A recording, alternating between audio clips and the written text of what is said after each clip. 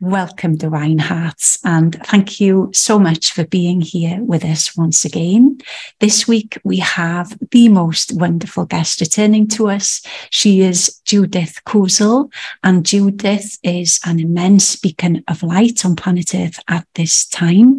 She is a cosmic librarian. She brings through cosmic divine light intelligence, and she brings this through all of her work and offerings through her soul readings with others, through her course work, and also through her many books as well. And we will be focusing our lights today on one of her most recent publications called France and the Secret Knowledge of Mary Magdalene, the Cathars, Templars, and Avalon. And we will be delving much deeper into this with the beautiful light of Judith today. So thank you so much, Judith, for being here and for sharing your light and your wisdom so generously with us. Thank you. Uh, hello, all you beautiful souls, and thank you so much, Lois, for having me back. Yeah, and this uh, book of France has been a labor of love. it's not a labor of love, but a gift of love, I would say, many of his arms. Uh, it's a beautiful coffee table, a full book, and it's it's illustrated inside with all my own um, uh, photos and sketches that I made in my journals and my journal entries and uh, the guidance that I had along the way, and also my experiences of all these places. Um, you know, often uh, this is, for instance, Chartres Cathedral. I know you can't see very well, but uh, you can see that, that the camera even picked up the energies yes. of the, which is just amazing. And um, it starts in Paris, and then it goes to Versailles, and then to Orleans, and um, and uh, then it goes to uh, to uh, um, Chartres and then also to, to Carnac and then down into south of France, where, of course, the Templars, uh, that's, for instance, is in Vannes, these old medieval places. And then we get uh, to south of France, um, where, of course, the Cathars were and where the Templars originated from. And uh, it goes into uh, families involved there that were like the keepers of the Holy Grail, the keepers of, of the secrets or, or that which, which has been coming over many generations and, and many, many millions of years. We just, uh, in France, you just don't go back to, to what we have recorded as, as history. Um, it's the same with Britain. It's the same with Ireland, etc. Because they used to be there used to be no Atlantic Sea because in the beginning there was only one continent. The geologists could talk about the supercontinent. And uh, when I was doing research for this book, I was deeply touched because you get uh, you um, in France, especially if you go in that that upper uh, you know, the upper and the lower parts. We go right into the uh, um, the Azores. We go right into the Canary Islands, North Africa, where they they, they were always these red haired people that were like had their roots in the the later Celtic tribes were actually all part of this original continent. Okay.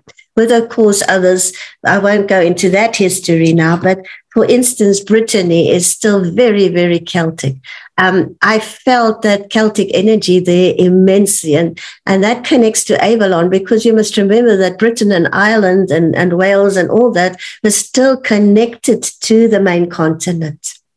And there are islands offshore from Brittany that that just like that, and that's not the Channel Islands; these still belong to France. But you get the Channel Islands too. They were all part of the mainland. Um, Orkney, for instance, was part of Norway. So, um, you, and also North America was still attached to, to the main continent.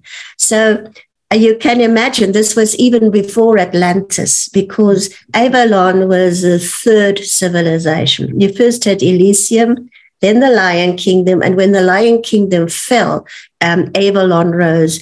And Avalon is actually where the original Druidic tradition comes from. But what's so interesting is um, I just want to show you something. Um, this is in the south of France, and this is in a church at Bugarach, um, where I had an immense anointing uh, with Mary Magdalene and Joshua. And then uh, um, also Montsegur, of course, is right on the cover. Um, that's the most sacred place that you can ever think of. But um, the history then of that area is long forgotten. But um, I came across when I was researching about the Celts, uh, especially because I did, because I was always brought back to actually me standing on the edge of the cliff, you know, and, and um, in those days when I was in France, I always used to have a red dress that I wore and a white horse. So I was standing there with others that, that all had and uh, the mantles on because it was wore mantles because it was a cold, etc but we were looking out into the west you know like um at the at the so we what now is the atlantic ocean okay and I was wondered now why did I have this recall? And then um, I came through a book that was written. Um, actually, in any case, it's it's one of the books that I was reading, and it, and it actually gave me the answer. And it said that the ancient Celts always used to stand on the western shores. Okay, looking over the Atlantic, mourning the loss of the original homeland. And I thought to myself, wow, okay, now everything starts falling into place and everything starts to to um, fall into place in a higher degree. So the lands are ancient. It's just that our that the recorded history then was not needed because that was in the seventh dimensional state. And it was not necessary to write things down because a human still then can, um, they uh, communicated telepathically. They were highly civilized beyond our ilk now that we have. And more than this, they, um, they were, um, I say they did not need to record anything because they knew how to tap into energy and energy fields.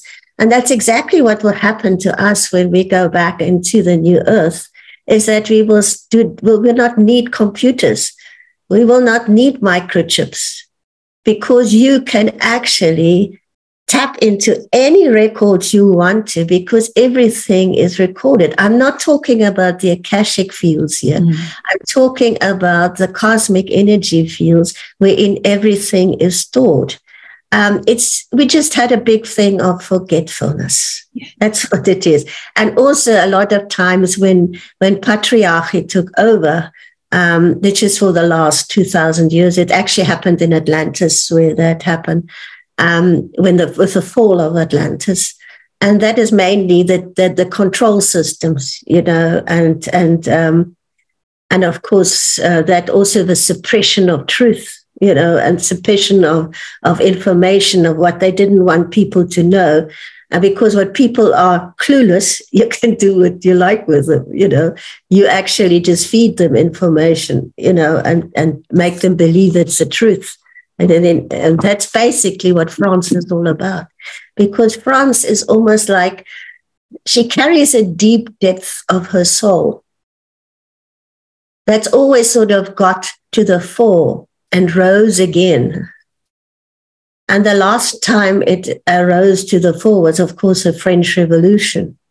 Mm. And um, so to me, France um, is like a key if you want to unlock the rest of Europe and also Britain, because it was one and the same. You cannot really understand the Western civilization in its deepest form if you try to ignore the role that France, Greece, and Egypt, yes, and Mesopotamia, but in the end, everything was one.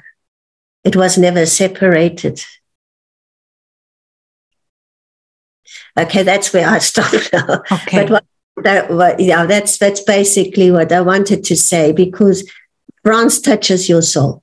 If you really, if you really go deep and you you you just don't travel like a tourist, but you really travel consciously.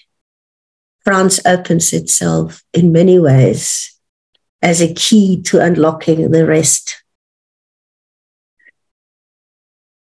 first of all, I'm just going to mention as well um, the the power of your, especially for me, um, your last book, which I read, um, Why I Was Born in in Africa, and the the power of the imagery, the the frequencies that are held in the imagery, uh, that took me by surprise. Especially the sections that you had uh, on these stones, and uh, there was a deep activation. You had carried those activations in, in those images. And so I'm really excited to experience this book as well, which is going to be waiting for me when I go back to Wales uh, next month. It is going to be this beautiful surprise. So I just wanted to say that because it's, uh, it that it's it's a multi-dimensional experience because it's again as you are speaking it's a it's an energy experience. It's a it's a light information experience. So it's a multi-sensory multi-dimensional experience. That's a France book. That's a France book as well. I, I, I mean yes. I, I was sitting in south africa and that is, um, you know, as a, as a journey of the Africa book, sort of uh, is actually a continuation in this France book, because I was sitting in Cape Town and I had to start opening energy fields from Cape Town to France, and then from Mauritius to France, and uh, and interesting enough. What's so interesting about how this carries on is now in Mauritius they have these pyramids. I don't know if you remember the Africa book has got the pyramids in uh, Mauritius now, if if you go straight over Africa and you go north, you get to the Canary Islands, and the exact same pyramids are found in Canary Islands. Okay, they found in the Azores.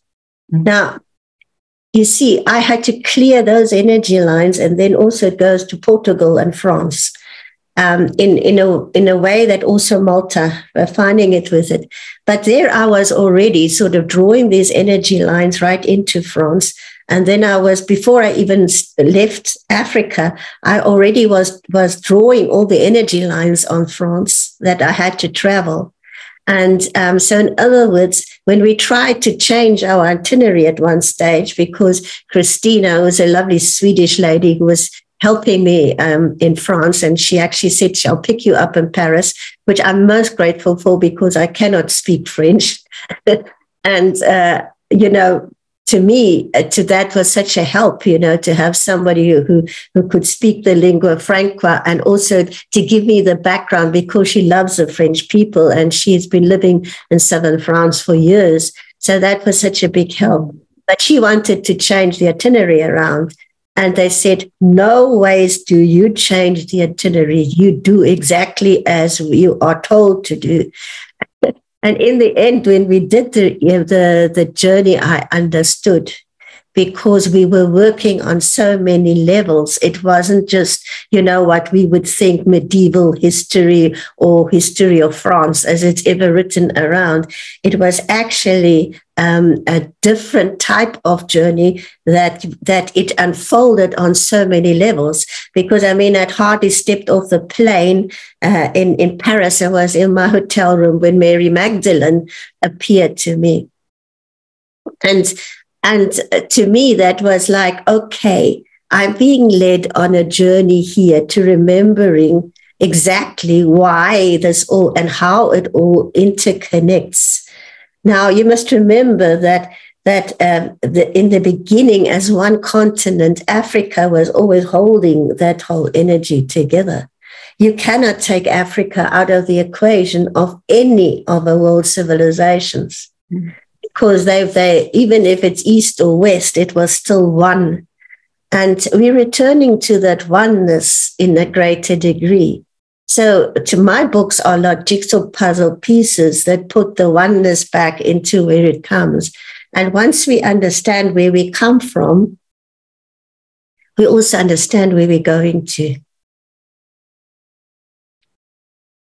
Because the keys and codes of your soul gets awakened because your soul, and there are very so many of these people that were involved in that time, the Templars have returned. Um, and if I talk about the Templars, I talk about the original temples, Templars. I'm not talking about the modern ones, okay? Because there are splinter groups in that. I'm not talking about that. I'm not interested in that. What, what my book is about is the original core that is there that was started. And if you actually look at the man who started it was St. Bernard of Clairvaux. He was a visionary. He was way ahead of his time. And it was through him that this all sort of came back that they had to remember their roots. Okay. And that is why the Templars actually knew when they went to Jerusalem exactly where they needed to go to. And that context there already. So there's so many pieces here, but then you do deep delta and it comes to Mary Magdalene and what she, she was born in France. She went to all the mystery schools. She ended up in Alexandria and then in Egypt and then got back to her Jewish roots because they were of a Jewish royal family and they had property in France. And if you look, that isn't actually funny because King Herod had, had property in France. He helped her when she came back to France. Um, there was also um, uh, Pontius Pilate had property in France. So you see how the cross, how cross generated. Um, the, the Nicodemus was actually um, was part of it to Jesus. He was like a, yeah, Mary's father. Uh, Mary's he was related to Mary, Mother Mary, and he was also owned a huge shipping fleet. All right. So you put the shipping fleet together and you understand that traveling was quite happy. You, you could travel anywhere in Europe through the shipping feeds. So is it that, that, that you can actually think of going to them? It was nothing to travel from France to Israel and back again because the Roman Empire was, in any case, doing the same. So uh, you see, if, if you look at it, it's, it, France goes on so many levels. But then you need to dig even deeper. And you get back to the Druidic tradition, which has been completely suppressed. Why was it suppressed? There's a reasons for it. In the beginning, the Druidic tradition was very pure, and that's Avalon. Okay. But then Avalon was destroyed, and a remnant of the Druids survived.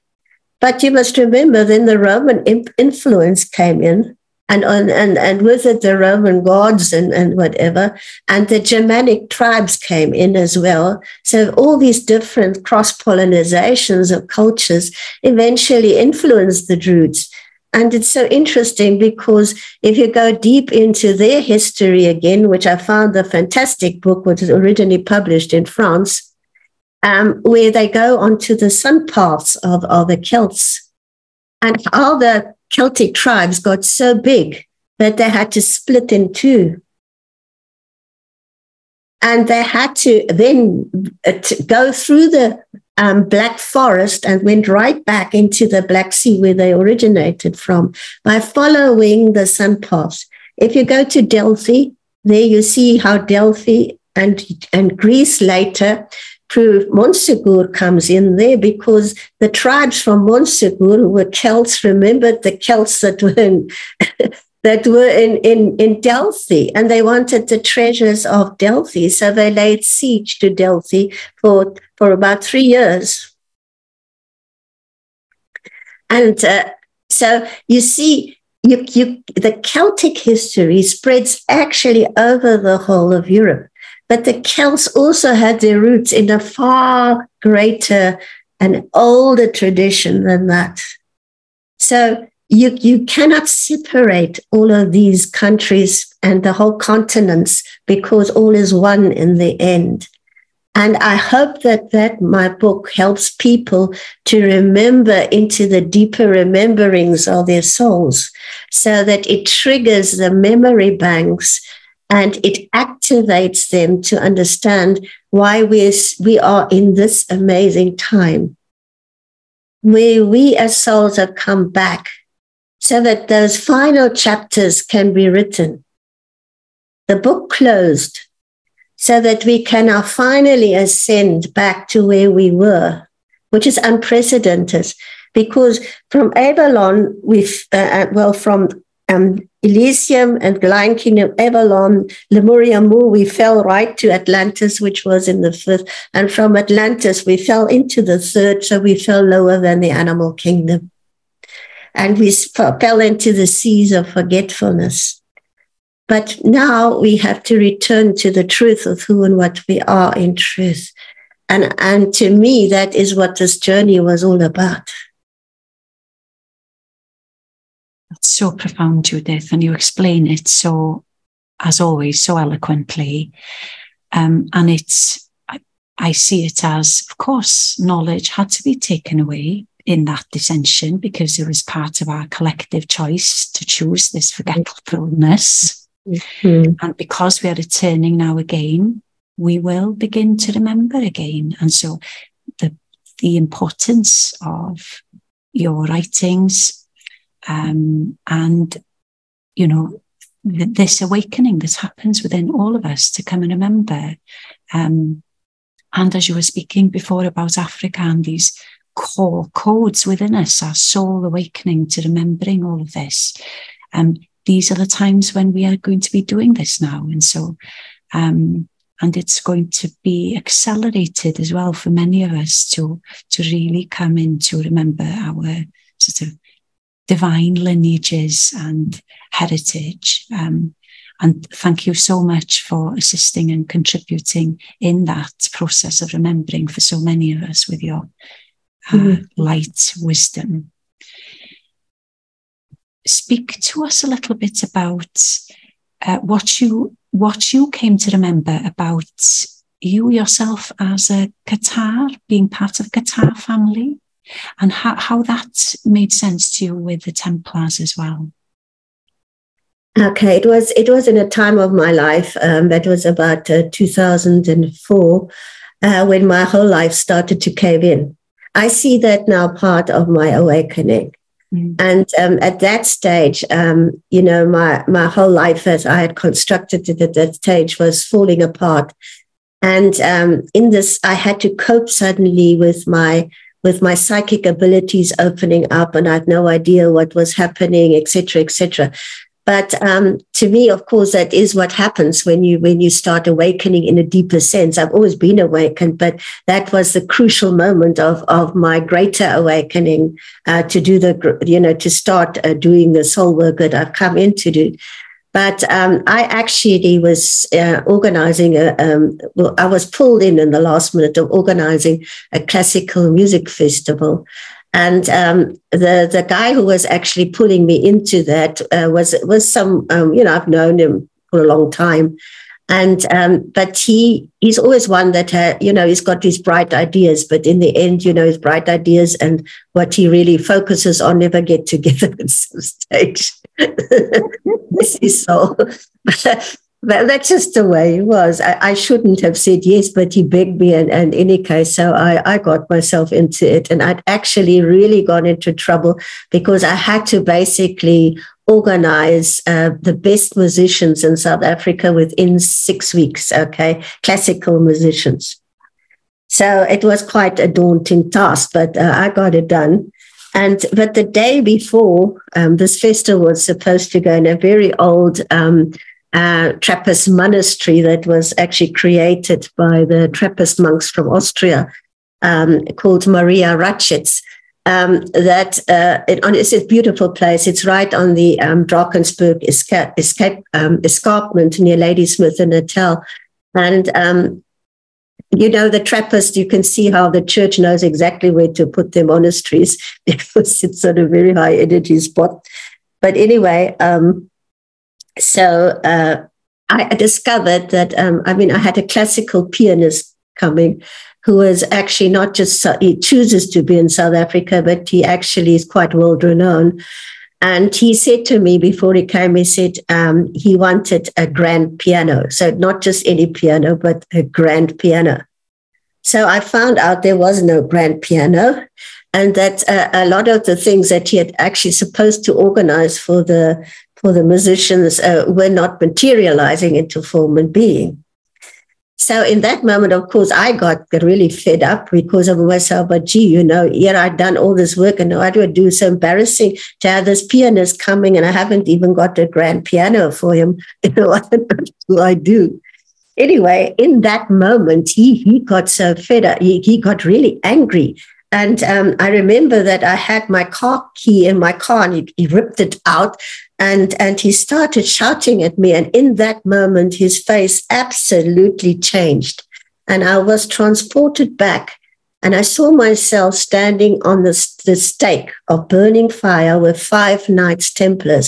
It was so vivid i actually saw their red cross and their white garments and i was the only woman between this. And he in this in this priest robe and he was having the Bible in his hands and he was thumping it and singing the Psalter. And that shook me. I, I, I, wasn't, you know, I was in the state of shock because this was so vivid. Anyway, this whole thing got um, uh, sorted out. He got into his car and off he drove. And, uh, and the next day, um, I got my uh, my grand piano, which they had loaned from the senator's wife, but it had a broken um, pedal.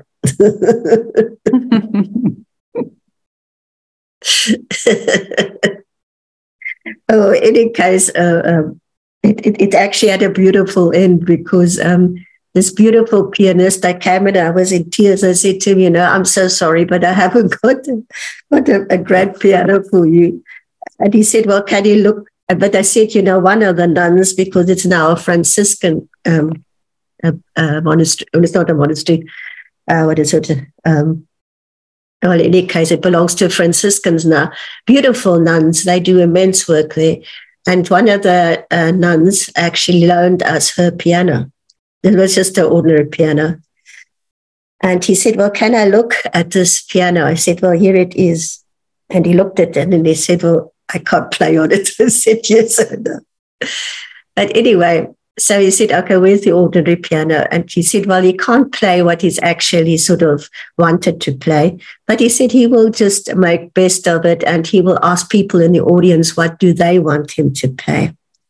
And I, I had to put the chairs and, and you know, when he started playing, I was in tears. I was like, um, and he said to me, How am I playing? I said, Oh my goodness, Chris, you know, it, it, I can see your heart and soul in this. I'm just so grateful. And he said, No, he said, It will work. He, he will do that. And I said, And uh, when the concert was on, he said to me, Well, what can he play for me? And I said, Für Elise, you know, from Beethoven. So that was just, it was just so everything turned out well. I just have to say that. So, in other words, this man who attacked me, he actually played out his role perfectly.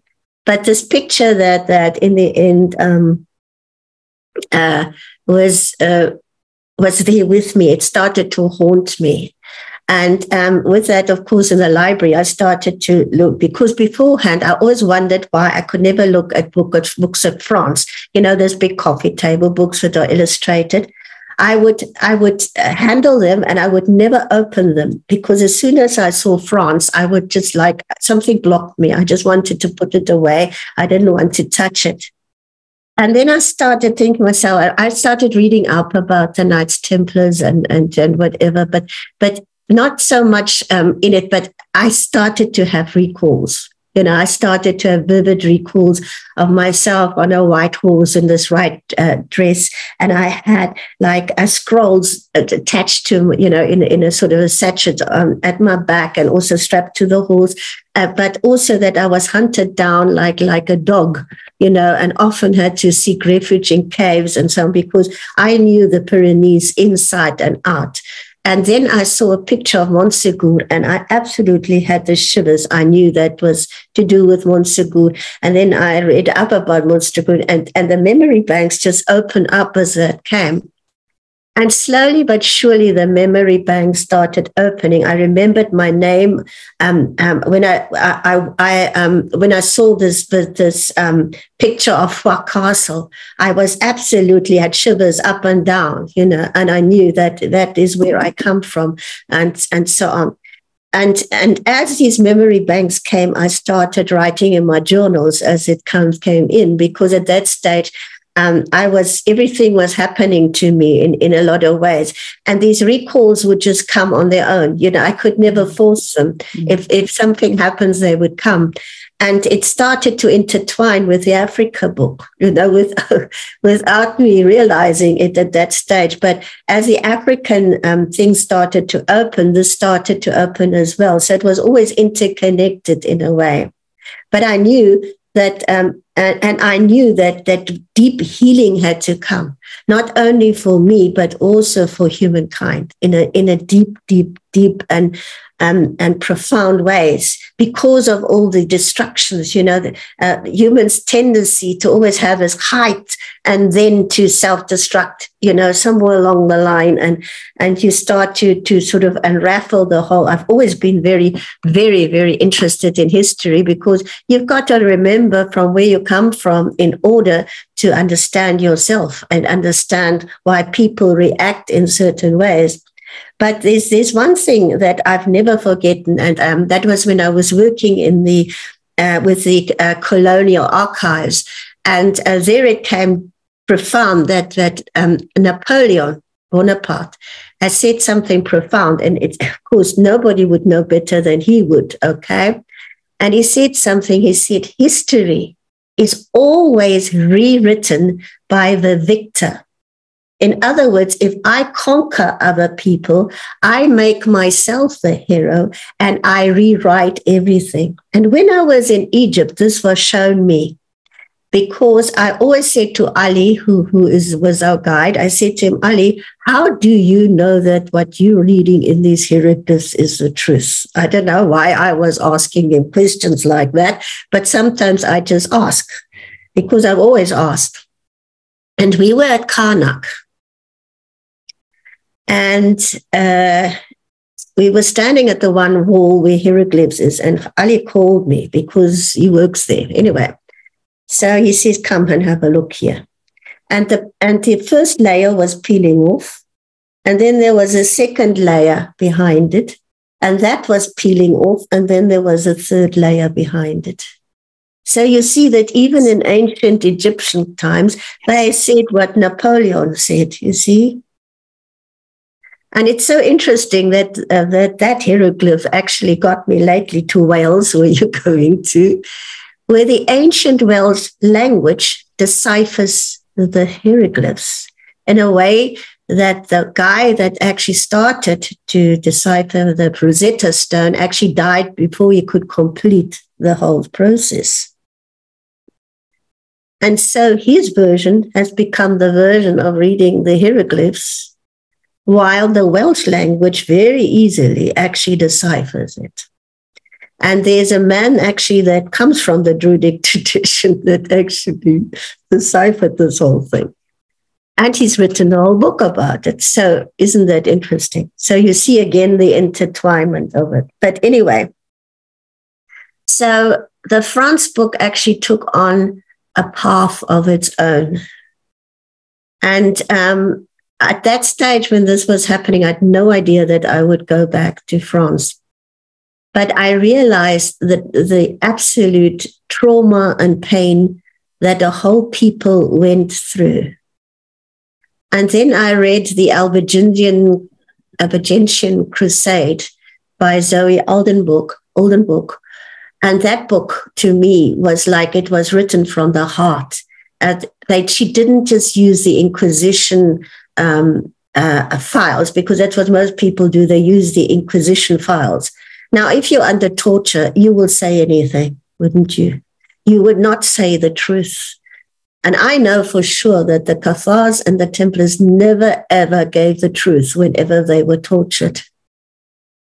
And that comes out in my soul readings pro- profoundly in the end, when the when the Cathars were really now they understood what was happening and why it was happening, um, all the Cathars actually made a vow, and they said, "Okay, we have done what we could to safeguard uh, what we needed to safeguard, and that is actually in lots of way the truth of what always has happened to humankind in the spiritual sense." Okay they knew, they knew gnosis in the highest sense. And in, uh, in other words, that type of illumination that and the purity that goes with it, because they were known as the pure ones, which goes, which we are now starting to tap into. Okay. And that was preserved in their mystery schools in Montsegur because Montsegur once had pyramids underneath it. Okay. And if you look at Montsegur, there it is. And the Pyrenees means pyramids. Okay. Now, their knowledge was so ancient that it was there even before Mary Magdalene was there. Okay. And she was part of those mystery schools because she trained there. Okay. But this goes right back into the first Lion Kingdom. When these mystery schools were first created. So this, this shows you that there is a knowledge bank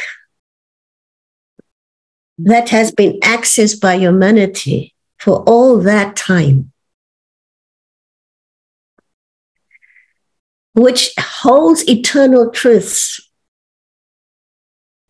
But because we sunk so low, we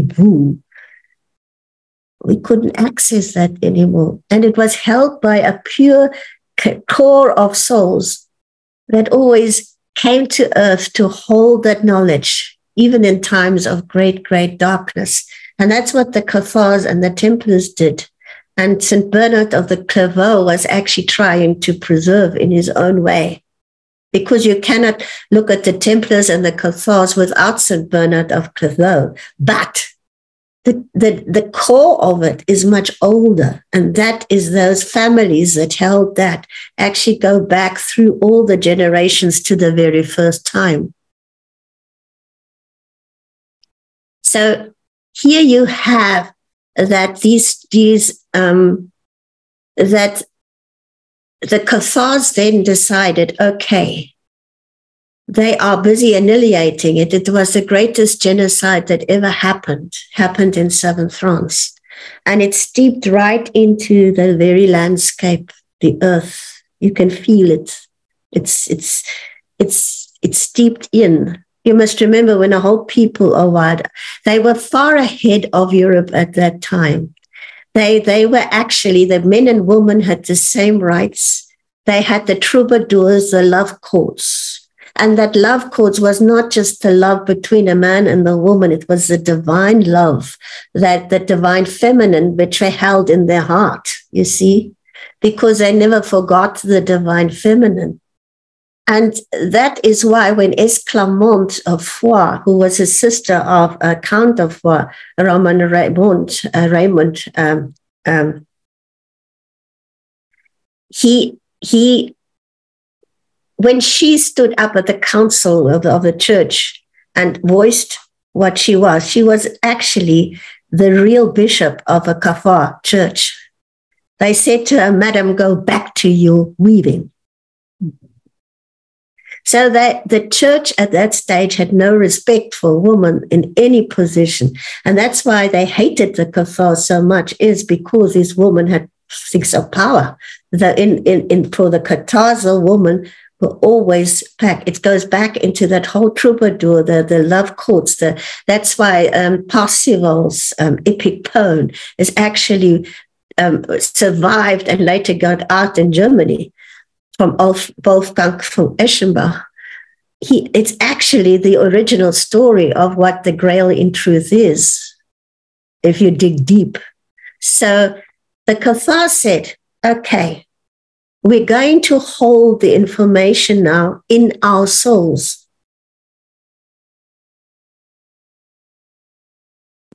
And because the Cathars and the Templars were actually the same families, they were the core families in that area.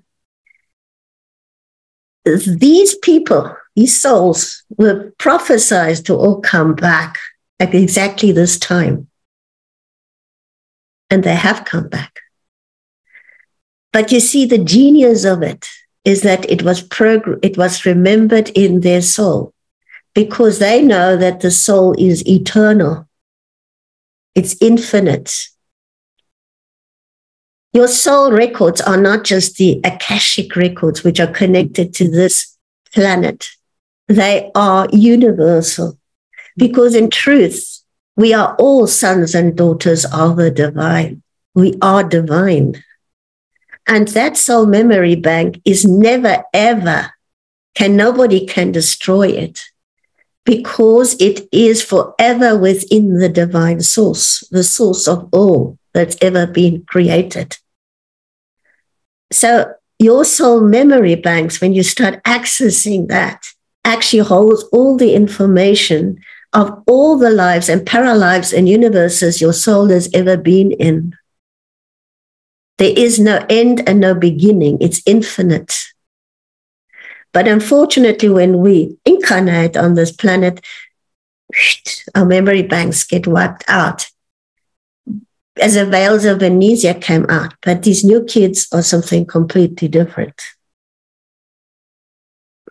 So we are in a process as old souls that have been now for many incarnations on earth and have now returned in the process of remembering of who and what we are in truth.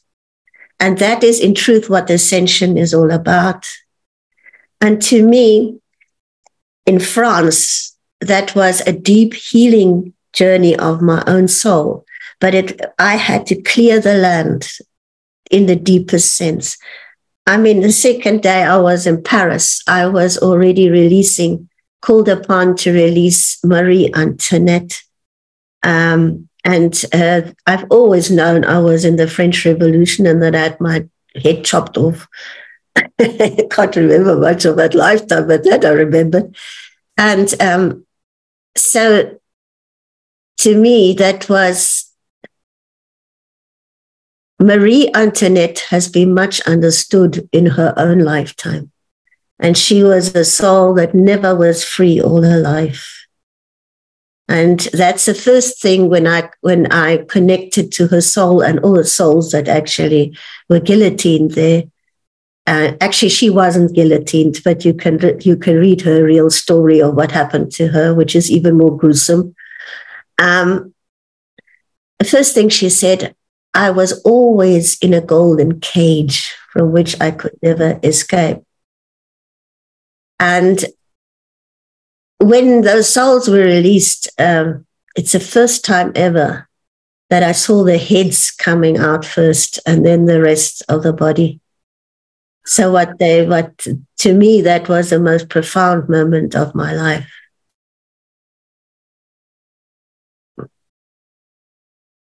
So to me,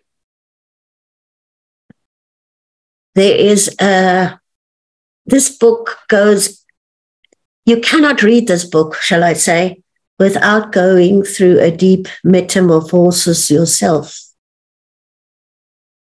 just like I did. And that is why you cannot separate France from the rest of Europe nor can you separate France from Britain and Ireland and Wales. Because I remember reading Welsh history because I love history. So, but Wales, Wales, Wales has always fascinated me, and so has um, Scotland and has um, Ireland. And when I went back in my own family history, that goes from my mother's line, uh, Scotland and Ireland, and anyway, so um, when I always, when I read about the history, I thought about the tragedy of it, you know, the tragedy of it. And mainly so because also in the archives that I worked in, it was all about the Welsh miners that were brought in to South Africa to start working in the coal mines, the gold mines, and all the mines in South Africa. And um, I remember at one place we had the most beautiful Welsh librarian that he always interacted with. She always made us nice tea and real English, you know, Welsh tea with all the nice goodies, whatever. And uh, so you see, you cannot you cannot separate Brittany you cannot separate Brittany in France from Wales and Ireland and Scotland. They're the same people. Britain too, but Britain lost itself when the Saxons came in a lot of ways, with Saxons and, and the Vikings, and of course they all sort of intermarried, etc. Um, because again, if a victor comes, you know, he changes all the history. But um, it's the, the, the, the Cathar families because I remember that my daughter that I had in that lifetime as Cathar, she married an Irish prince that I know. So you see how the Celtic line goes again through southern France and it goes right into Ireland and Britain. Okay. And when I started reading the history of France before, and you get right back to the Celts, because even uh, Julius Caesar, when he started writing about the Druids, which he reported, uh, in, you know, because he had actually a Druid that he had captured that gave him some information, whatever. Probably only the information that he sort of like knew they couldn't get access to the real information, which they would never give to the Romans. And they tell you that when the Romans went to, into battle, they were much smaller than the Celts. So the Romans were about half the size of what the Celts were. The Gauls, of course, in France, but they were also part of, of um, things. And, and then, then they used to have trumpets. Uh, the Celts used to have trumpets and all sorts of musical instruments and they used to sort of sing and chant and whatever would really put the fear into the Romans. Okay, so to me, that was so wonderful. I was so, okay, interesting. and then, of course, um, you go in that when a Celtic chief was buried, they actually diverted the river beds and then would make space for all him and his treasures to be buried in the river. And then they would open it again so that the river could flow. So nobody could actually get hold of the treasure it's it's these interesting facts that emerge in France that I go back. And of course, then you go back and you see that the Celtic tribes were right into Spain. And the original sun paths started in Spain. And, and quite and interestingly, I think it's right in the south of Spain. But you must remember that the Moors took over later, you know, and they took over that whole part of France uh, the Moors, you know, when the Islam came in uh, into into France, you know, you've got Granada and all those places which were absolutely thing.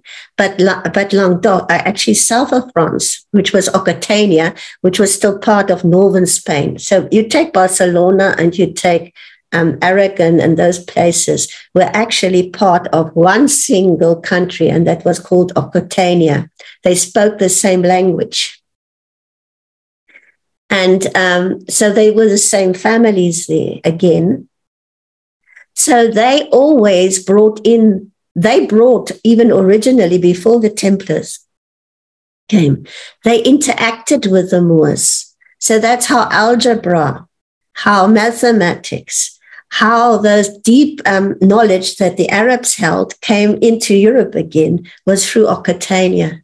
So you see how they were vastly ahead of the rest of France. The French king could hardly spell his own name.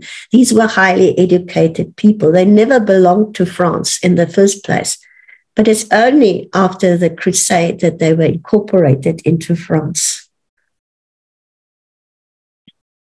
You, you spoke about the sun paths a few times. What do you mean yeah. by this? Is this linked to the sun disks in any way? I believe so because the sun disks you will find. I mean, I remember in my Africa book, I start um, connecting with these sun disks.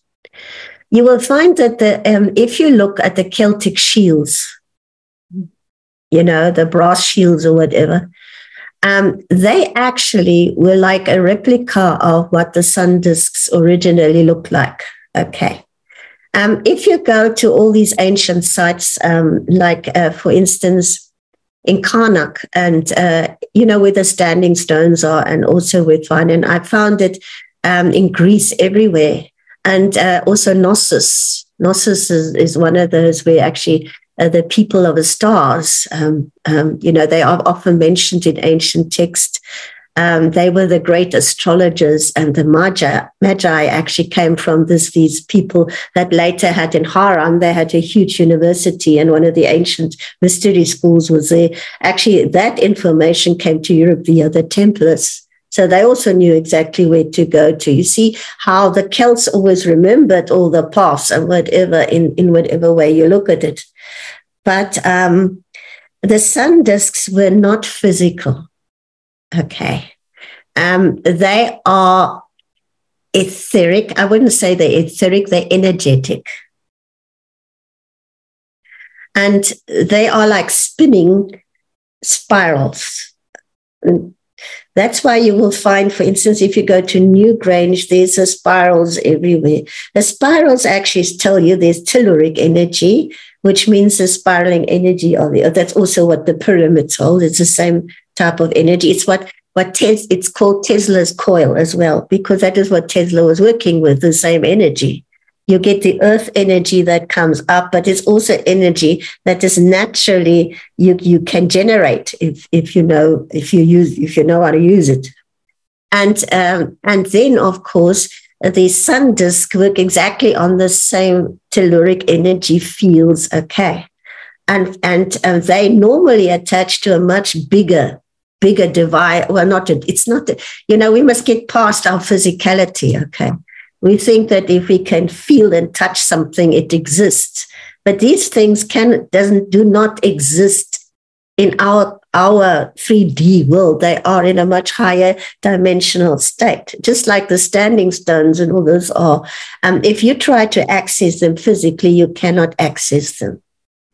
They are literally living beings um, I mean, those those stones in Carnac, for instance, they they are absolutely sound, sound technology and telluric energy, and uh, they were just one vast machine. Uh, whichever way you look at them. And so they, they knew exactly what they were doing when they were placing the stones and how they placed them, and also the shape of the stones. They, they literally sing, they, they, they connect to each other. And it's exactly with any of these old sites you go to. Um, you, you, you, um, if you touch those stones, you will, you will literally be able to tune into them but sometimes you will find you can't touch them. Um, I've been here to the Stone Circle here in in um, in Kaapse That is the oldest one in the world, two hundred and fifty thousand years old, and um, there, there are two standing stones that go like this in the middle. And um, Michael Tellinger said to me, "Well, you step through it, you know, step in the middle." I said, "I will not step into the middle. I know I'll teleport." I wasn't going to do that. But when, when I stood on the outside of that stone and I just touched it, I was literally pushed back. They, luckily, Michael and, and, and the other guide was standing behind me. They could catch me. I would have fallen over. So the energy between those stones is such that if you are of a certain frequency band, you can teleport to anywhere you want to, and, and not just on Earth. You can go wherever you like to.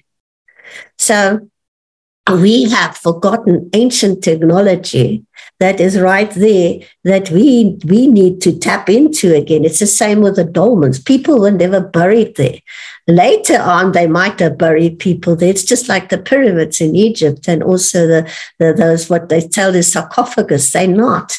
I mean, in Egypt, I, I actually start touching a sarcophagus, and I knew that that you that they were never ever meant to have buried people in. They might have done it later when they've forgotten, you know, when they could not tap into that higher energy fields again. And it's the same with these sun disks.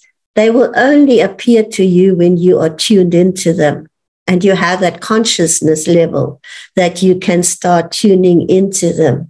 And I believe that the Druids could do that because um, because what they do is they will literally, with the information they hold, they are like like uh, computers, I would say, like like like the brain of the computer. And what they do is they literally hover over your head and they download information directly into your higher mind. So there can be no distortion of information. There can be no lie. There can be no sort of, you know, you know, like humans do. It's watered down information or it's filtered information or what they want you to know information. And so this cannot be distorted by anyone. And that's why they are in the higher dimensional state. If you're not pure enough, and you, you and and you you know you, um, the cosmos always reads your intention. What is your intention behind wanting to know information? Are you going to use it to destruct and destroy, like make weapons of it, okay, like humankind are inclined to do? Or are you going to use this for higher good? Are you going to help people that way? Are you going to assist humanity that way? Lift them into a higher consciousness field, okay?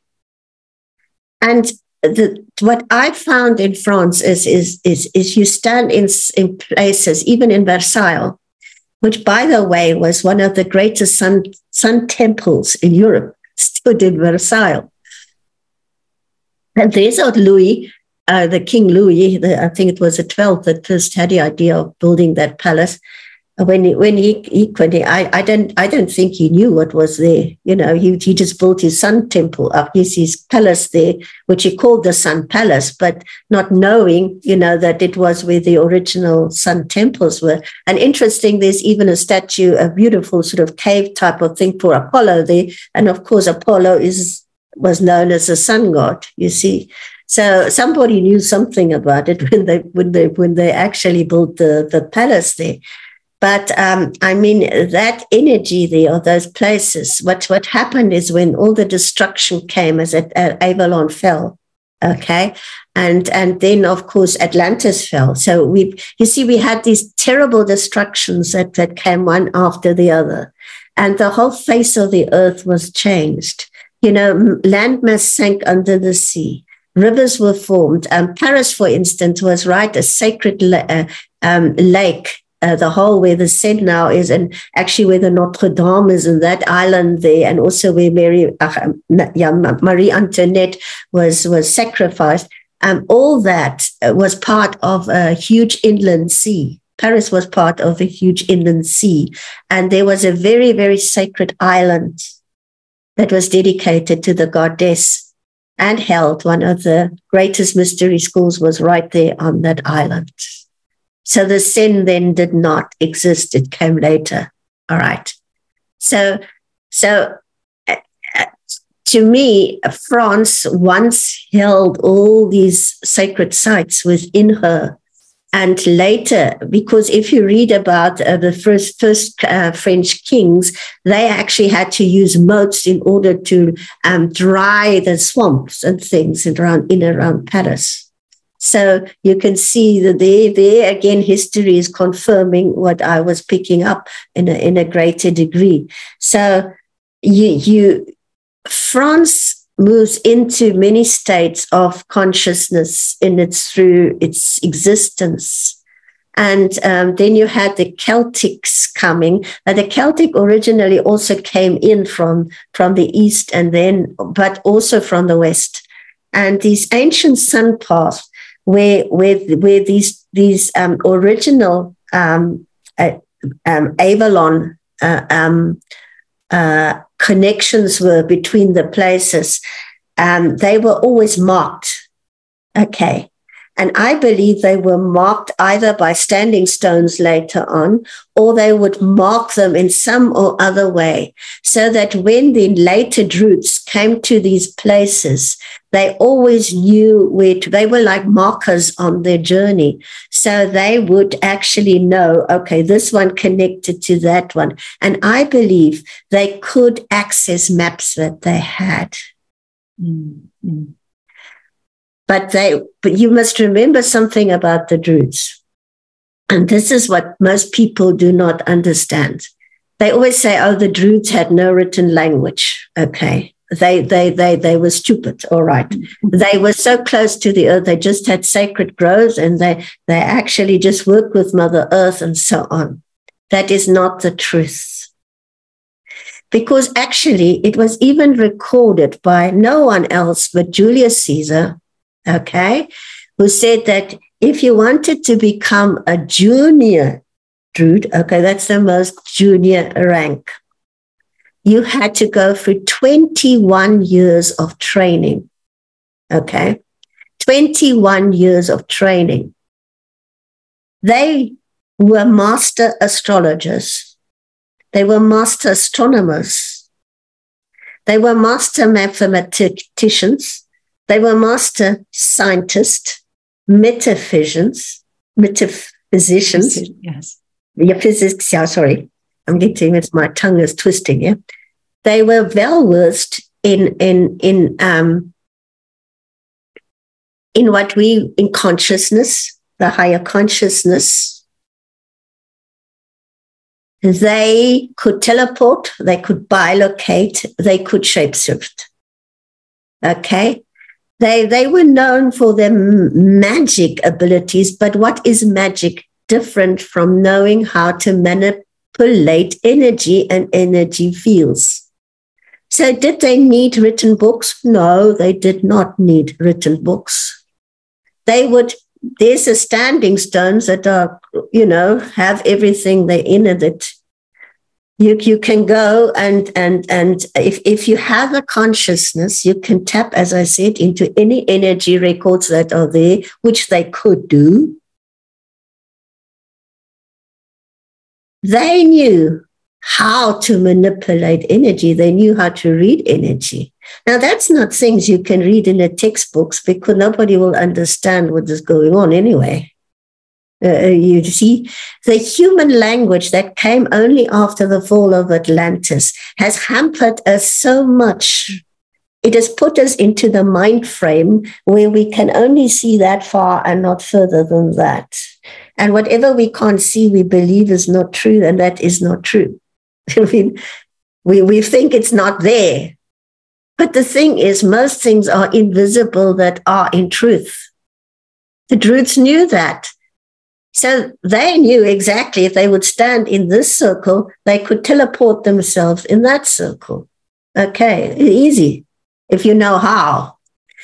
And and these people that are highly trained in these this metaphysics, they even know how to make themselves invisible. Because you see, in ancient times, you didn't have, uh, the higher you go in consciousness, the less solid you are. Okay. You, are not hampered by this physical form. You can go anything. If you read about Houdini, he was the greatest magician that was ever, well, sort of recorded in human history. They actually locked him up in a prison where they said nobody could um, ever escape from. And he managed to escape through that. Okay. So what else did he do but make himself? He dissolved himself and then put himself back together again. Okay. And that it's it's it's very, very uh, it's technology, but it's also know-how that we have forgotten about. And you know, I, I, always see that with with the intergalactic spaceships. They have that technology. They know the know-how. They can make themselves visible and invisible anytime they choose. It's our humanness that is that is why this consciousness shift actually goes through your heart center, because your heart is directly connected to your soul. Your soul is infinite. It's not hampered by anything. And once we start to expand our consciousness, once we open up our higher transmitter channels, there is no limitation to what we can access. But you have to reach that higher level. But most people are so stuck, stuck in the doctrines, in the false information that is given us, in the lies, as Napoleon demonstrated, the victor always rewrites history. That if you do not ask questions, if you don't seek the truth in your higher sense, you're not ever going to be able to tap into the truth of your soul and that divine truth that is forever there. And that is, that is where like these people that actually dared to, to stall this were always so persecuted because they were a threat to the status quo and the, the false information that was held as religion or whatever. I'm not against religion, please. I'm just saying that unfortunately, there were those that have hijacked certain aspects of that and then actually said, This is the truth, when in truth it's not. And now the truth is starting to come out everywhere because it's starting to open up and it's coming from, from ancient manuscripts that they suddenly found, like the Dead Sea Scrolls. That's why they won't publish the Dead Sea Scrolls because there's too much things in there that they, they know is going to break down everything that they've ever done and um, or ever or ever said this is the truth. You see, this believe this, you know.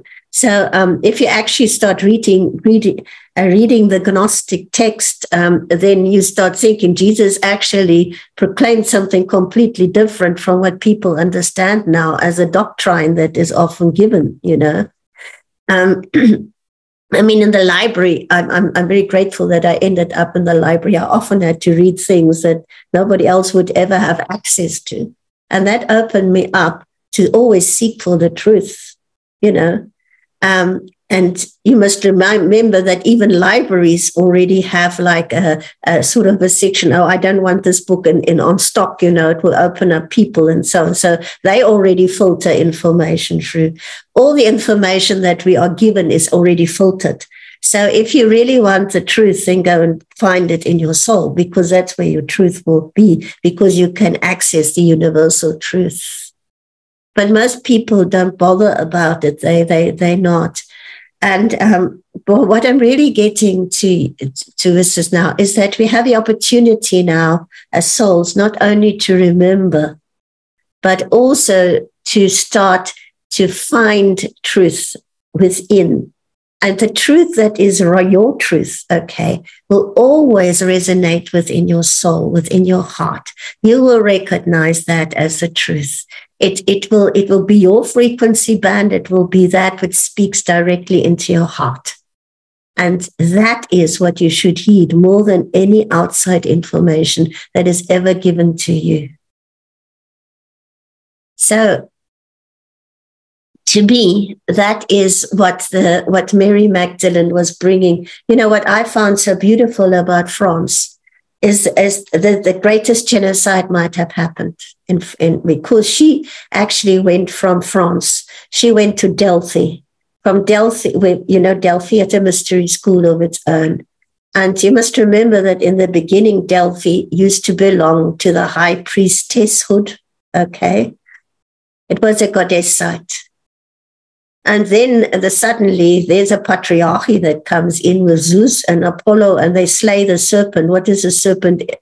A spiraling energy. Okay. You see, you, you, with mythology, you've also got to start digging a bit deeper to get the higher meaning behind it.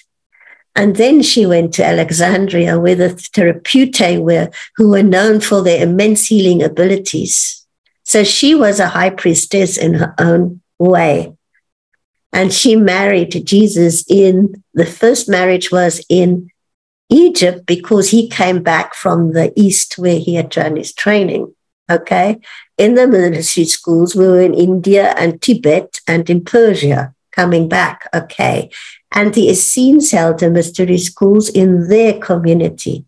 And they actually were purer than all the Pharisees and Sadducees and all the um, Israeli, uh, well, not Israel, but you know the the those people that were there in Jerusalem.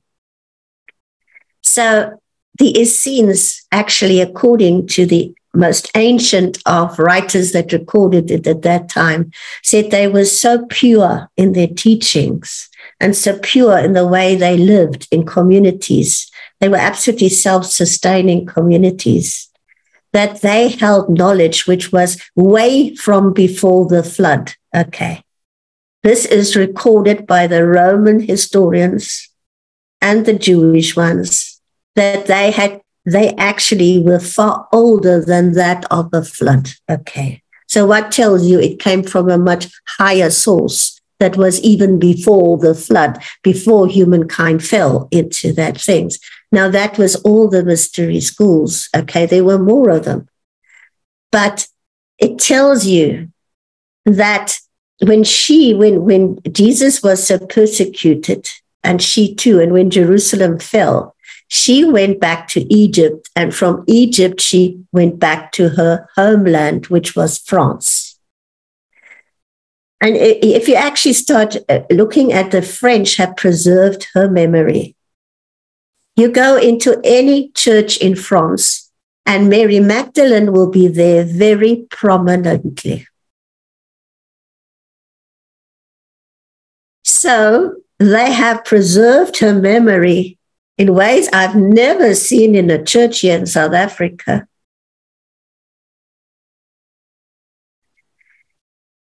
The next person they read is Jeanne of Arc. Okay. I get told I've got to go to Orleans. So I always knew she came from Orleans, but I had no idea what would unfold. So with Mary Magdalene, and I get to Orleans, and as we were sitting having lunch there, I was suddenly told in the hotel, you got to go to, I always forget the jolly place's name. Um, it will come. Anyway, this castle now. And this castle belonged actually to the Counts of Orleans. And as, as we got to this, so it's all still in the same district, you know, where she was buying it. And in that castle, she said to me, I will show you where to go in that castle. When I got there, I thought myself, I know now this energy here is quite amazing at this castle and I was shown. And when we got in, in that was also very interestingly a beautiful painting that immediately drew my eye in, in the king's room. And that painting had a castle on it. And that castle, it said in the English translation there, or at least Christina translated for me the French, Foix Castle. Now, isn't this interesting? I was went to France because I wanted to go back to Foix and I wanted to go back to Montsegur. And I walk into this castle and I find a picture and there's a Foix castle.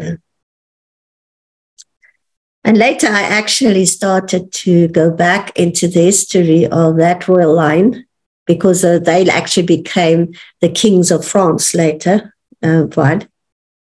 And I came to Anne of Brittany okay, Anna Brittany. And then I found that actually the Foix family never died out. It was for Anne of Brittany that they became the King of France. Interesting. Very interesting. But anyway, so we got to this chapel and it was the most beautiful chapel that I've ever been in. It was it was the Queen's chapel next to her uh, uh, what is her chambers, and the energy there, it's incredible, beautiful. And there I saw how, and I was told her true story and the ox true story, but I won't say it here what her true story is. She was never a peasant And she was anointed in that chamber. And interestingly, um, Christina has been quite involved with some, some groups there in France. And uh, when we got into this cathedral in Vannes, I think it was, yeah, it was in Vannes, it was in Brittany. Um, after we'd been to Carnac, we went to Vannes. Uh, and oh, there's a beautiful Celtic energy there. It's just amazing. But uh, Christina got me into this this chapel. I was looking at all the medieval houses there, so I, I was more interested in them because the architecture. You wonder how some of these houses manage to sort of stand, you know, because some of them wobble this side and some of them wobble that side. So that was fascinating to me. In any case, I got into this cathedral and the first that appears there as, as a statue is Jeanne of Arc. Now, if you look carefully, now you see in, in, in the French cathedrals, you must go in and you must go and look in at what is there. Okay, what what have they actually preserved in the architecture, just like Chartres, and what have they put there? And you will find that they have preserved their truths in all sorts of manners and the uninitiated will walk in there and they won't see for seeing.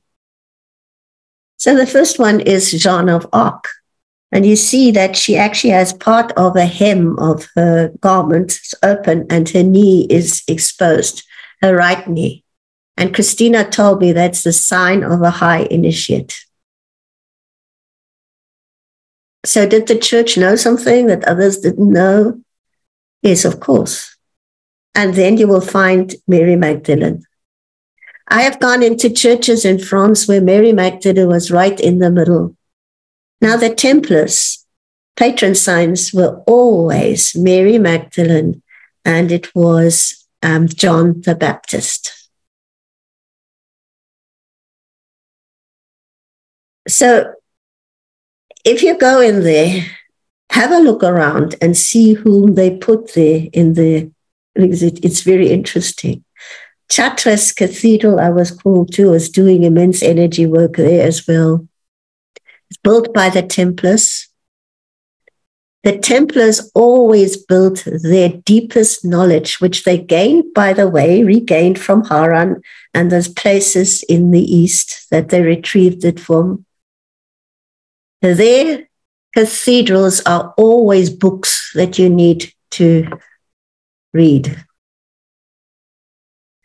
I have found things in Chartres Cathedral that I looked at and I thought to myself, there the Templars have put things in clear sight, right behind the high altar.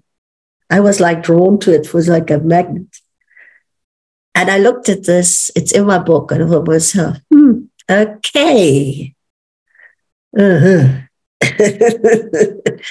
but you see, most people go into these places unconsciously. Now, Chartres Cathedral was built right on the most sacred of all goddess sites in Europe. And there used to be an ancient serpent mount right next to it which ended up in Orleans, of all places. So there's interconnectedness in France that goes back. That Serpent Mount linked directly to where's the next Serpent Mount sits in Avebury. Where are the next Serpent Mounts? There were some on Ireland, but they were sort of like waiting in America, oh. North America. They were like giant star maps, and they mapped out the serpent energy. Mm.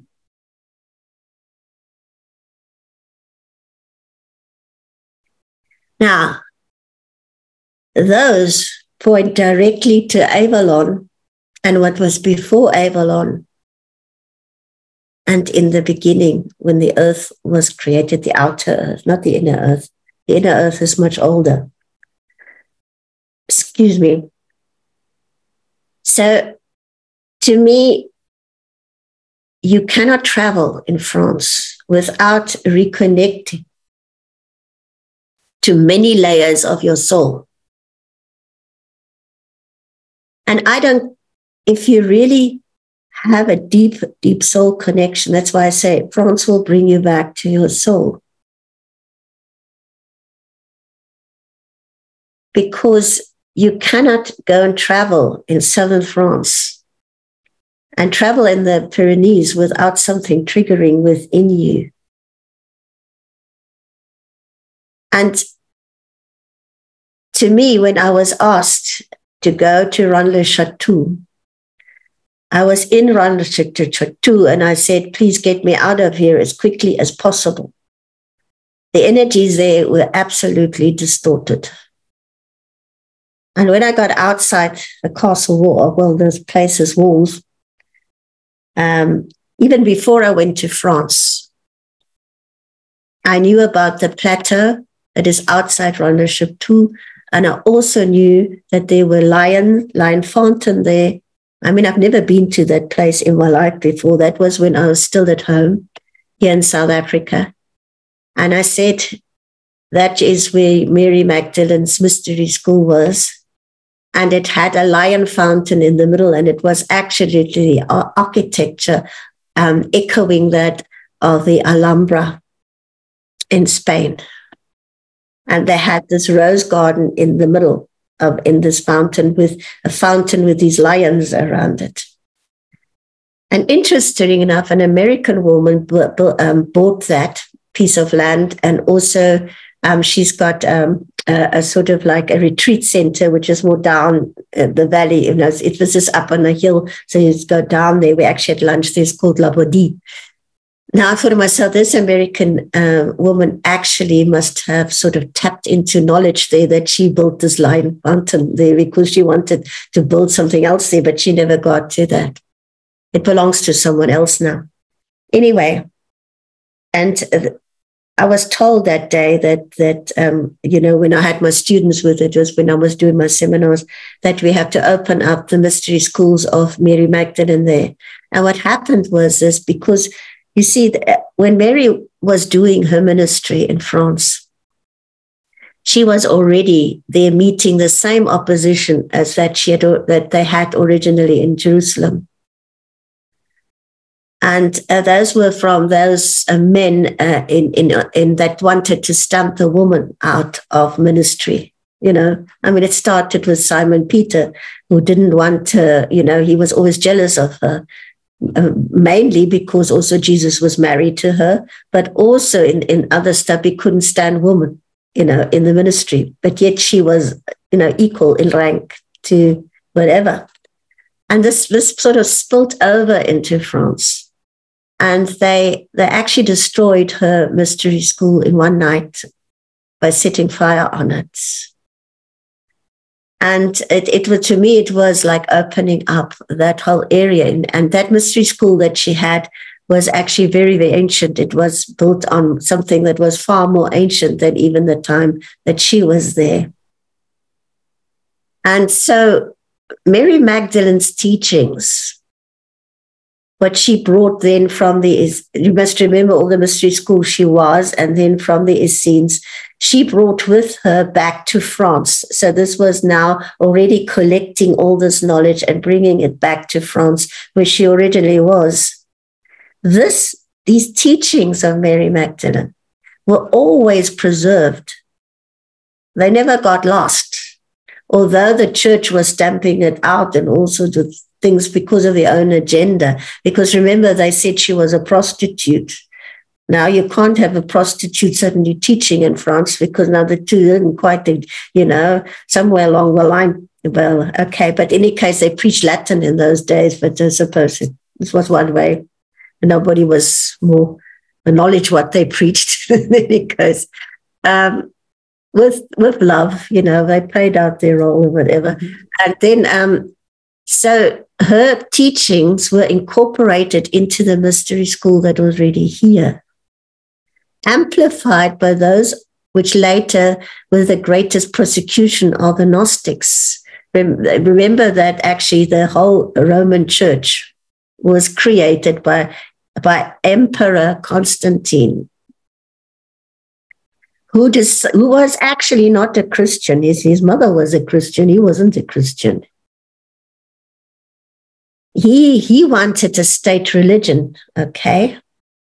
So he basically created the roman church and he decided in the end what went into the bible and what did not go into the bible. And then the gnostic text that they didn't want in the bible because obviously they, they had hidden agendas somewhere along the line they started to persecute those. And the Gnostics always had woman bishops, that woman priests, okay, equal to the men.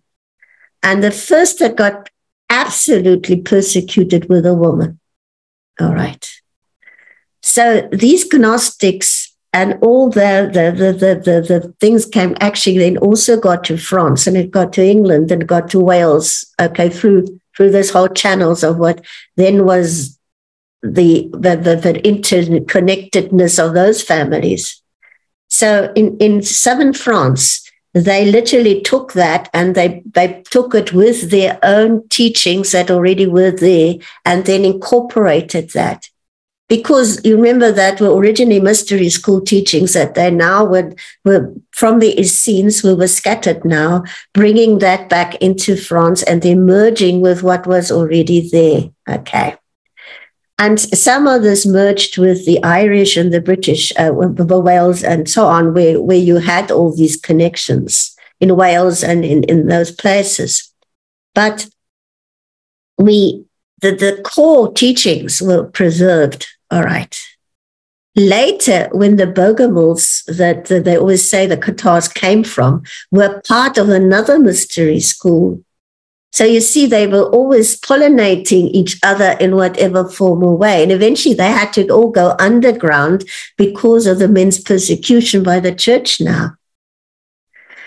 So the tragedy of, of the whole Celtic uh, um, um, um, preserving of their Druidic, uh, very highly spiritual knowledge that they had, which also ties in with the original mystery schools, were when the when the, the same Roman Church got into England, uh, where of course we're Romans, we're in England, uh, we're finding it. Mm-hmm. With that came the church, and if you start reading the history of Ireland in the beginning, how they hacked the druids to pieces, especially the woman priests, and also the same happened in Wales they actually forced the Druids that were sort of a, well, well, well, not wanting to get killed, they incorporated into the monasteries, the men, not the women. Okay. And uh, they were later forced to become Christian monks where they were not and if you look at the book of the Kells, that's so Celtic. It was actually those Celtic monks that were originally Druids that had contributions to contributions to that. But if you actually look in the greater history of the church, they did exactly the same in South America. They did the same in Mexico, wherever they conquered. You see what, again, what, what Napoleon said, the victor always change everything according to their things. Okay. So it happened in Germany. It happened everywhere where the where, where these previous tribes were. I mean, there's a place in Germany called Verden in North Germany, where my family originally comes from, where they say up to now the grass will not grow, where they killed all these people, you know, in order to force them to become Christians. Yet um, I am now just saying about this where great forgiveness needs to come and great healing because nobody felt the brunt of the church more than the woman. So many women were actually burned alive later by the Inquisition with the reign of terror were women. Women that healed, women that actually still did energy work, which they originally did, woman that held that knowledge that they had that was ancient and so many women were falsely accused of being witches when in truth they were not. Um, I don't say that the men were not persecuted, but I say that this is what happened. And um, if you actually look at the original template um, uh, things of what was drawn up by St. Bernard of Clairvaux, he actually said that these there were five groups that the Templars always had to give free passage to and shelter to. And one of them were the Cathars.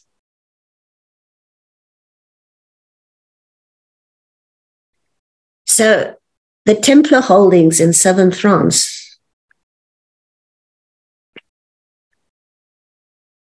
those Templars were supposed to be neutral at that stage, but there was no way they could be neutral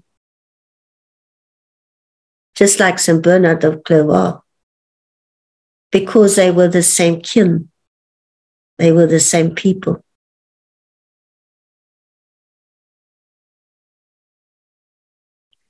And I mean, later the, the Templars themselves were so persecuted.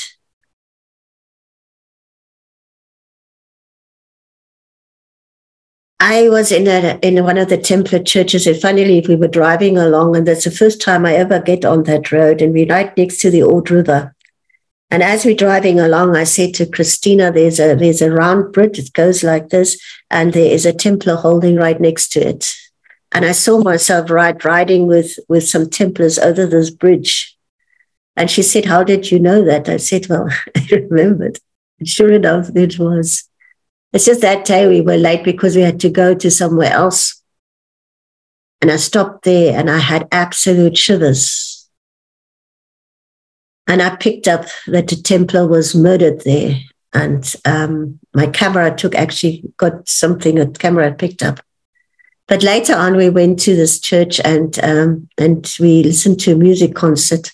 I love it in France. Uh, the churches are used for musical programs, you know, beautiful classical music and, and whatever else. They're using their churches for that. It's beautiful. The French have music in their soul. Just it's, it's a poetry. Is there? The old troubadours have never died. They're there in the French. It's even the French language is musical. It's mm. it's it comes from the heart. And um, anyway, this church was round.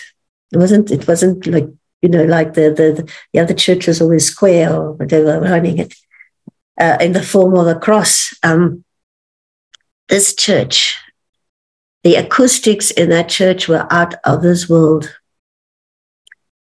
And I could, the energy was such that I just had to get outside and I sat myself on this ancient bench that the Templars had originally put outside the door of the church. And I was under the starlit uh, sky. And it was to me just the most beautiful thing to sit under this, this starlit sky. Although this, the sky looks different there. I miss my Southern Cross. anyway, uh, and this music flowed over me. And I had this most beautiful, beautiful sense of peace. And I felt that this place was actually created in love and with love by those men who were then totally dedicated to the ideal of people working together as one. And that's what the Templars always did. They always involved the community. They were self sufficient. They actually followed the process of the Essenes to the core.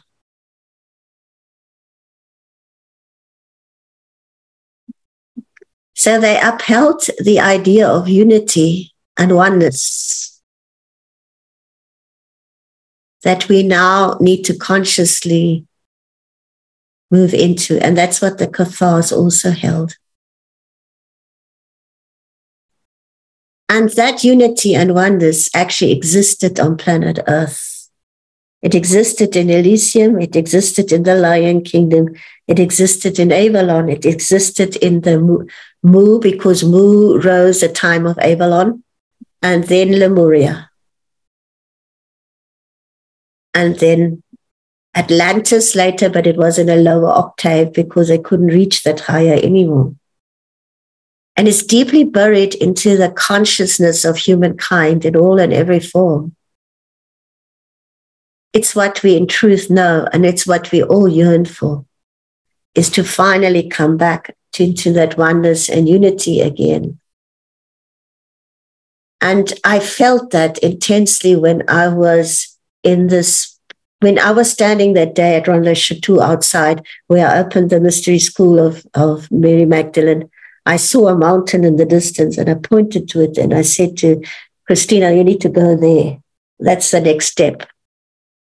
And uh, she looked at me and she said, Oh, that's Bugarach. Well, I had no idea where Bugarach was, but, um, you know, we got there a few days later. And it was also when, when we went through those mountains, uh, there's just outside um, Bugarach, there's a Templar holding again on the mountain on top. And the gorge that's there, the, uh, the energy there is just out of this world. It's just amazing. Bugarach Mountain is amazing in itself. Intense energy there. But anyway, we got into this um, little village and there was this church. Now, there was nothing sort of like spectacular about the church. It was just a plain and simple church, um, not big, small. And it was sort of like evening time. Uh, and uh, And Christina said, Well, let's get in. I said, Well, you know, I, I don't think, you know, we can't see anything. But somehow or other, she found the light switch and we went in. And I was, I was walking inside this door and I was just like, you know, I felt myself drawn to the high altar, of the altar Sphinx. And you know, in all the Catholic churches, you've got altars on either side, whatever, but it's finding it. And I looked at this altar and I saw there's the Cathar cross and the Templar cross. And on the wall is the Cathar cross and the Templar cross. Next to it, there's a woman bishop.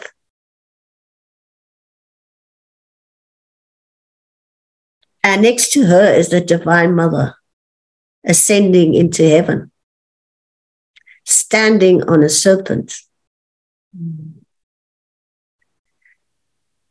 There's a symbol there on the altar that I've never seen in any of the churches I've ever been into. I, I was looking at this, and the next minute, this energy came down, which I cannot describe. I found myself on my knees and I had the most profound anointing of my life. And it came with Jeshua and Mary Magdalene there with me, and my ascended masters and angels and seraphim, and well, the divine, of course. I will never forget that moment. And then I understood that this was the original site where everybody was anointed if they came through the initiations of the original mystery schools that were there. Anyway, I got out of that. And in the meantime, Christina hadn't even noticed what was going on. But she, she said she was, she was drawn to the altars on the side. And then she started calling me. She said, Come, come, come, have a look. So on the side altar, there were three candelabra, and they were pure gold and she, they were actually looked like ordinary candelabra, but she was now drawn to look on the other side, and then she turned them around for me to have a look at. And on these candelabra were Mary Magdalene, Jeshua, and Joseph of Arimathea. Hmm. I photographed these, and I told myself it, it seemed important at the time and to me, it just confirmed that this was a place of anointing in whatever way you look at it. And blow me down. Six months later, I get someone who, through a, someone that was in Egypt at the time, sending a photograph of a stela that's in one of the Coptic churches in the desert in Egypt. And it had Jesus and his disciples on it in the stela. Right next to Jesus is Mary Magdalene.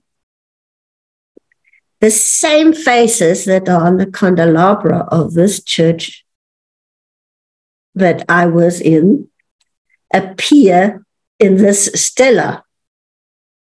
And she is depicted as a woman, not as the other men's disciples. which makes it unusual. And that is what, when I went to Egypt later, because I was called to Delphi and Greece, and then uh, that was in 2019, and then Egypt, that will be my next book. I went to that Coptic monastery. And I saw the stela. Now, that Coptic monastery was where Joseph and Mary, when they fled from Israel, stayed in the grottos there.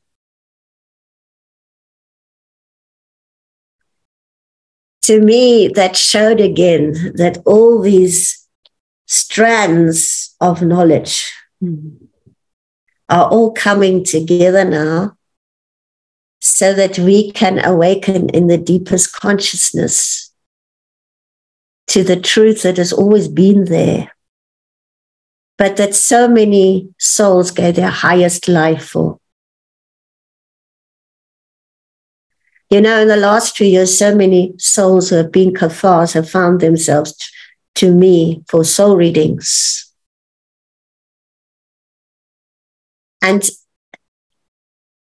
I've understood that in the context of that vow that the Cathars and the Templars made that they would return and bring their original truthful knowledge back to humankind and what was before. And it culminates now at exactly at this time where all this information comes together and we awaken to the highest consciousness where we can access it again and understand that universal truth is universal truth. And that is what the Druids knew in their own way because they were part of a mystery school that was in Ireland in Newgrange and it was held there by the Druids. And in Wales, it was on that sacred island that you drew my attention to. It's Iona, it's Orkney. It's those places where they literally energetically stored energy too in Brittany, in France, and whatever Europe. I haven't been in the rest of Europe, so I wouldn't know, but there, but there are places like that. The Templars later brought their knowledge to uh, safeguarded it in Portugal to get back away from the Pope. And then later in Scotland, and well, it's gone now to America apparently, but I don't know. In any case, it's not, that is another story in another way, in another whatever. it's that's not for me to tell. But to me, these places on our reawakening in the highest sense, like the pyramids, like everything is awakening with so that this is already put into that third new, the, the new earth, the new consciousness as we return to the fifth and seventh dimensional state and higher. And then transfigure into that new lighter, excuse me, the lighter body so that this can be brought to humanity with great love. Because the Cathars always held the book of love. And that book of love will only see is something that is written in your soul. It's not a physical book.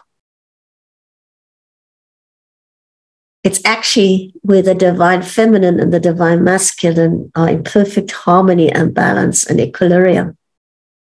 And you can access that higher consciousness state, like the sun disks they downloaded into you, so that you become a living book of life for others, a living book of love, a living book of light, a living book of knowledge that can be read by other souls.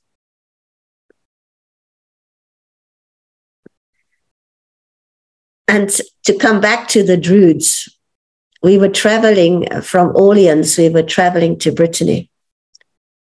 And as we're traveling through these vineyards, I suddenly said to, said to, I picked up this golden city of the Druids, the bards, the bards, because there were three Druidic orders.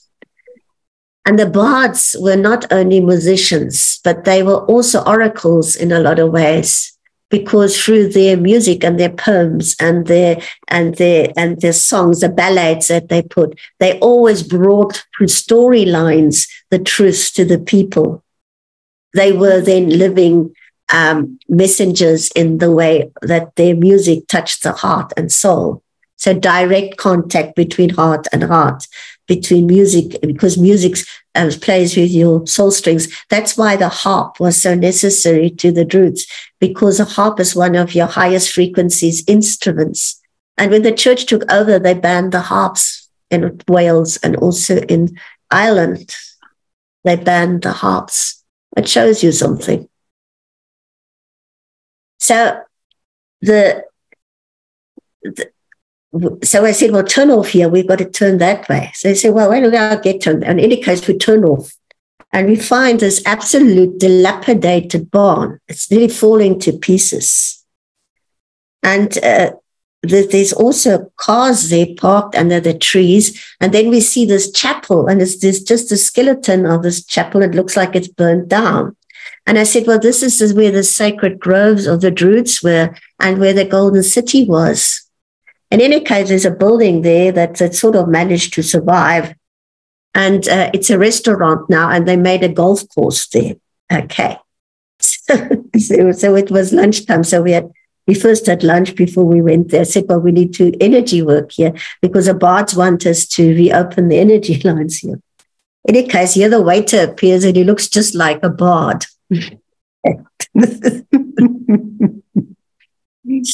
So I said to Christina, please ask him what this what this place is called.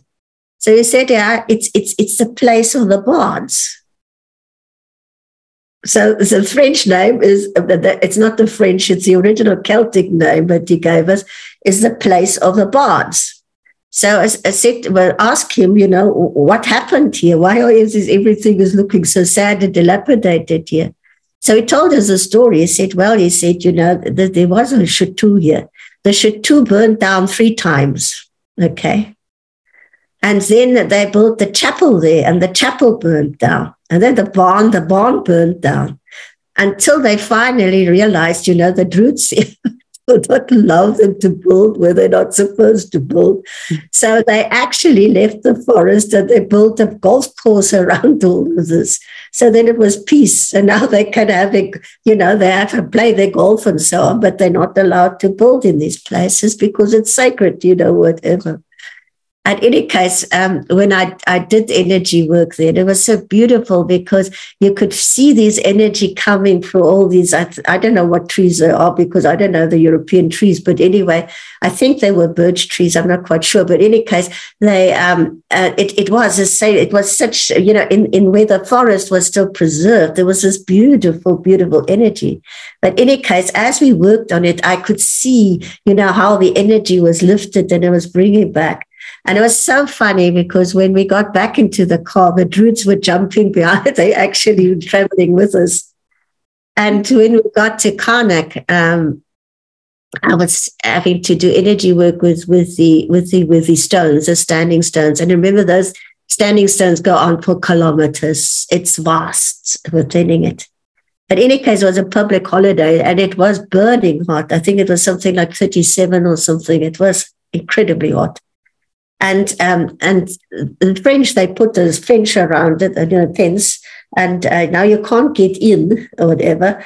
And you have to, and there's a little pavement like this, and then there's a main street that goes right next to it, whatever. So now I had to do this energy work in this burning sun, you know, what I'm even not used to in South Africa, but in any case, it was fun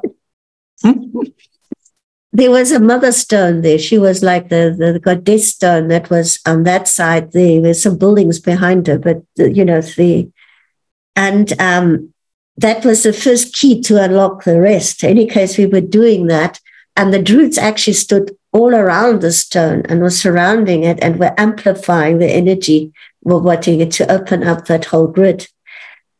But so interesting when I got home and I started to down, well, to the hotel, uh, we started to unload my camera pictures. The camera had actually picked up the druids.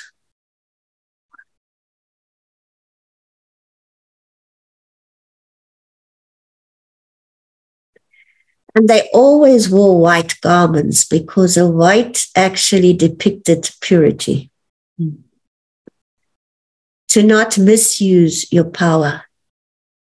Um, when the Romans later came and it was said that they sacrificed people, that was when they already were had fallen. You know, that was long after Avalon had come and gone. But there were always those that stayed true. It was a faction that actually split from them for all sorts of other reasons um, that later did the sacrifices. But that was also in, in conjunction with certain um, chiefs and things, you know, that later had come a bit corrupted in whatever form or way. But the essence and spirit of, of the Druids were always pure and held and contained much knowledge. But because they were so persecuted later, um, they simply did not share what they knew anymore.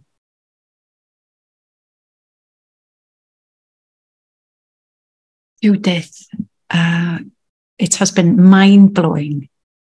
All the information that you've shared today, it's it's immense and it's incredible. And I would encourage anybody listening to really take a look at your book. And I will share the details below this conversation so people can find you and the details to your book and everything easily. Every time we come together, it is always an illumination. And we are so, so grateful and appreciative to you for sharing your time so beautifully and generously with us today. Thank you so much. Well, thank you so much, Lois, for inviting me. And yeah, and may uh, Wales, Wales be blessed, your homeland, for returning there. Um, and yeah, you've got, you're called there for back there for a reason. Like many people will just be called to some part of the world for a reason now. And, uh, and that's, that's as it's meant to be. Because we have so much of our soul somewhere along the line, as I was saying, you know, France holds it, that um, as we are there on the places, the memory banks get triggered and then we get activated in a higher degree. So that's my wish for you. You're quite sure that miracles will happen there in lots of us. Thank you. Oh, thank you. So much love to you, Judith. Thank you. Thank, thank you. And everybody, thank you so much. Thank you.